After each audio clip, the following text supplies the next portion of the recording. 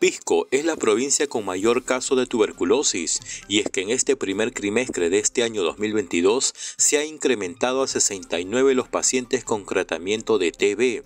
La mayoría de casos se está dando en personas farmacodependientes y de escasos recursos y no solamente es tuberculosis pulmonar, se ha detectado también personas con tuberculosis en el ganglio, estómago y órganos genitales. Así lo informó la doctora Evelyn Altamirano, coordinadora de los casos de tuberculosis del Hospital San Juan de Dios de Pisco. Bueno, ahorita en el primer trimestre, entre enero, febrero y marzo de 2022, tenemos 69 pacientes, de los cuales TBC sensibles tenemos 47, tenemos MDR 10, extremadamente resistentes, o sea, los XDR tengo 9 y monoresistentes tengo 3. Ahí sumando todos son 69 pacientes en los primeros tres meses en Pisco. Usualmente hace años no teníamos tantos pacientes. Nosotros tenemos más índices de pacientes con TB que en la misma región de Ica.